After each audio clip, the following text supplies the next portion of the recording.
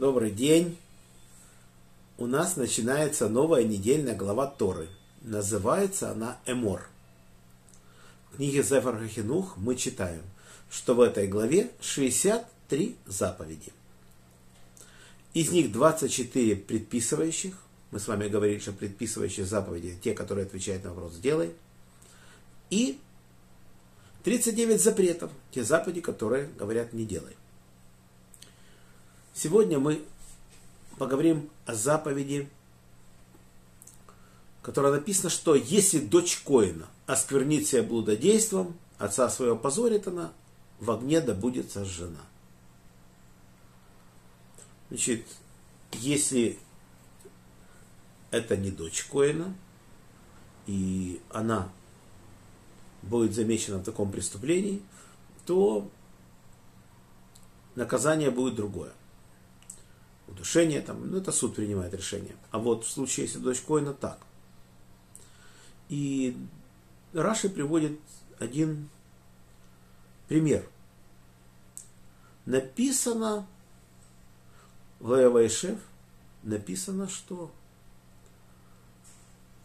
Иуда взял невестку своим детям, одному сыну, Эру, которую зовут Тамар – сын Эры умирает, женится второй сын по праву деверя, его зовут Танан, он тоже умирает, и он подумал третьего не давать ей. Решил, может, умрет и он. Он не знал истинной причины, почему они умерли. Не давали забеременеть своей жене. У одного была цель сберечь фигуру, другой не хотел давать возможность восстановления имени брата. И поняла Тамар, что она не дана Шеле, а у нее было пророчество, что от нее цари произойдут, и она решила поймать самого Ягуду. И она притворилась блудницей, села на дороге, поставила шатер. Ягуда после смерти своей жены утешился и шел к стригущим овец в Тимну.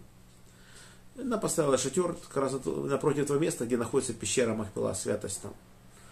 Ну, и он щел ее за блудницу и поврактил к ней, и кончилось тем, что она его на себе женила, она берет у него в залог печать со шнурами, посох, то есть этот шатер как хупа сработал, печать это как кольцо невесте дают. В общем, она продумала все. Он думал, что идет блудница, и она его на себе так женила. И она зачала, и говорится, что доложено было Иуде месяца через три, что она зачала от разврата, вот, что она прелюбодействовала. Но Иуда и говорит сжечь. Есть мудрецы говорят, что он же царь, царское колено, вот он, царское я сказал сжечь и все. А Раша говорит, не говорит, приводит устную традицию, что он это вынес не сам, это был Бейдин, и Иуда, Яков и Ицхак, наш праотец, судили по закону Торы.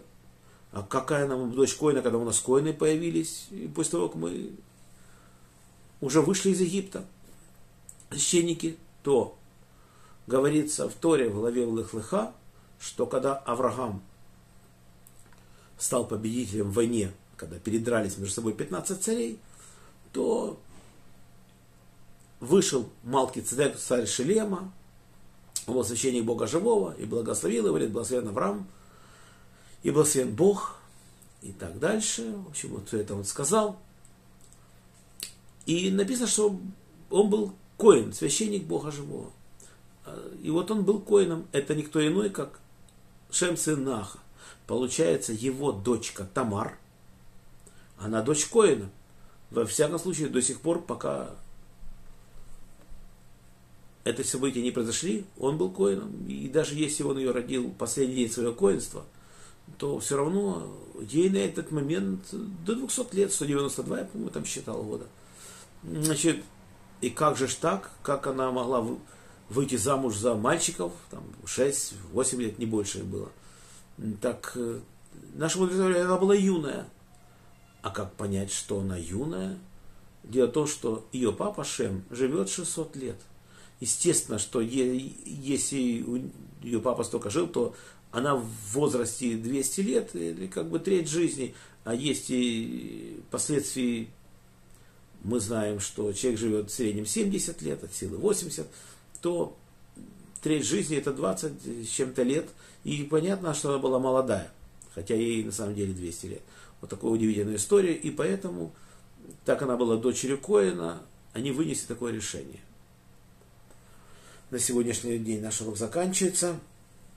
Урок был дан за поднятие души моего папы Яков бен Нахум, моего дяди Владимира бен Григорий, моего брата Павел бен Ефим, Хая Малка бат Йосиф, Мира бат Авраам, Роза бат Михаэль, памяти Ури бен Харитон, Мендель бен Мендель, за здоровье Светлана бат Клара, Борис бен Мария, Анна бат Ривка, Полина Первая бат Соня Сура, Лена бат Клара, Женя бат Ида, Анна бат Елена, Евгений бен Софья, Двойра бат Мириам, Моисей бен Ева, Ирина бат Двойра, Йосиф бен Раиса, Инесса бат Маэль, Евгений бен Берта, Евгения бат Ита, Исхак Шимон бен Белла Мотал, Фира бат Анна.